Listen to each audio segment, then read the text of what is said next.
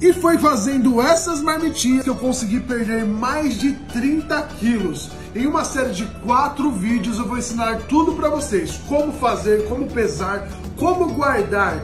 Essa daí não é para você perder, hein, pessoal? Vamos lá pro segundo episódio. Em uma panela, comece colocando 15 dentes de alho e deixe fritar. Em seguida, coloque 1,5 kg de arroz e 2 litros de água. Tá bom aqui? Agora é só esperar e vamos ver ele cozinhando. E sal, você não vai pôr? Verdade, mas eu não uso muito sal, eu não vou colocar sal. Essa é a questão. Na minha dieta eu uso pouco sal, tem isso também. Se você quiser pôr sal, você pode. Eu vou colocar sal no frango, nas outras coisas que eu vou comer e o arroz eu deixo sem sal, certo? Então é opcional. Quem quiser põe sal no arroz, é. quem não quiser faz sem sal. dieta eu diminuo sal, então eu deixo o arroz sem sal. Tá bom. O nosso arroz está pronto. Comprei aqui potinhos de 350 ml, pessoal. E nós vamos aqui colocar esses potinhos, certo? Numa balança. A sua balança vai ser sua melhor amiga na dieta, então você tem que ter uma dessas. Custa menos de 50 reais, pessoal. Você acha na internet aí. E aí você tara ela. Tarou, ela zerou aqui, ó. E eu vou pesar quanto? 100 gramas de arroz, que é o que o meu nutricionista passou para mim. Você vai fazer conforme o seu nutricionista falar, ou conforme você achar que deve, certo?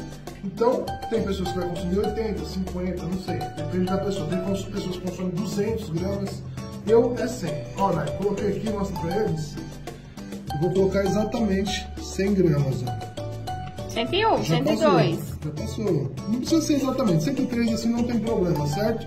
Para caber espaço, pessoal, vou fazer assim agora. Pego uma colher e vou amassar aqui o arroz. Eu vou compactar ele aqui então e deixar bem assim, pessoal, bem rente mesmo, porque ainda vai a nossa carne por cima.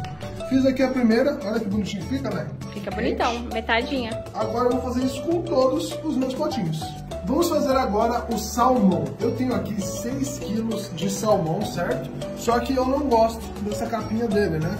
Então o que, que eu faço, pessoal? Eu fervo uma água, deixo aqui uma, um em uma vasilha separada, certo? Hum. E aí a gente pega a água quente e vai jogar por cima. Cuidado! Depois que você jogou água quente, a pele vai sair facilmente. Olha só, Nai. Nossa! Só ir puxando. Muito mais fácil do que ficar cortando, descascando o salmão ali, né? É melhor, né? Antigamente eu colocava tudo pra cozinhar e dava trabalho pra tirar a pele depois. Assim é muito mais fácil, pessoal. Eu vou fazer isso com todos. Terminei de tirar toda a pele da nossa carne. Olha só como que ficou. Tudo no esquema. Aqui eu triturei um montão de alho também, pessoal. E coloquei o azeite para esquentar aqui na panela por um minuto. Agora eu vou pegar o meu alho e vou jogar aqui. É a gosto, tá, pessoal? Eita, que tá quente. Quente. Nós vamos deixar dourar. Agora eu vou colocar aqui o meu salmão, pessoal. Pode Inteiro? Colocar, você pode colocar, porque depois você vai dar umas chuchadinhas com a, com a espátula para dividir. Certo? Ah, porque ele é, é, é, uma carne fininha, né? Então ela, ela desfia rápido. É, com o tempo aqui você vai virando, ele vai começar a cozinhar e aí você vai fazendo em pedacinhos, ó, dessa forma que eu tô fazendo. Só, vai Já vai desfiando aí de acordo com que ele vai cozinhando. Quanto mais ele esquentar, mais molinho ele fica, certo?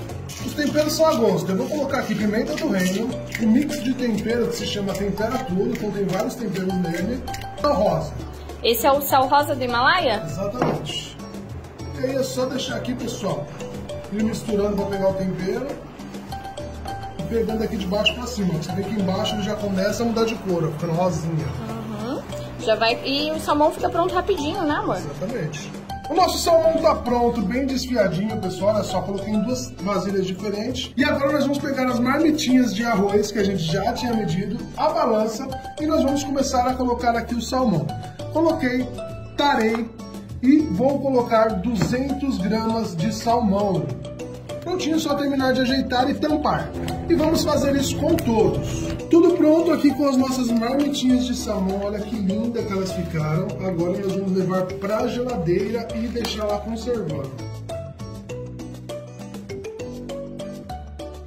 Agora é só levar para o freezer. Lembrando que essas marmitinhas elas duram até 3 meses dessa forma aqui. Quando você for comer, você vai tirar elas aqui na noite anterior vai passar para a parte de baixo da sua geladeira, igual eu faço aqui, ó.